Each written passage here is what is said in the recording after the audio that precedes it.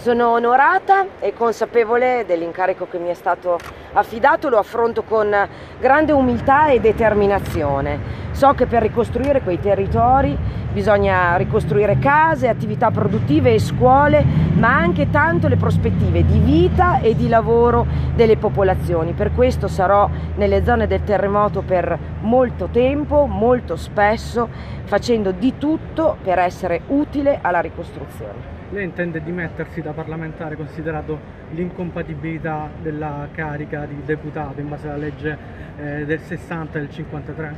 No, perché non c'è nessuna incompatibilità. Grazie.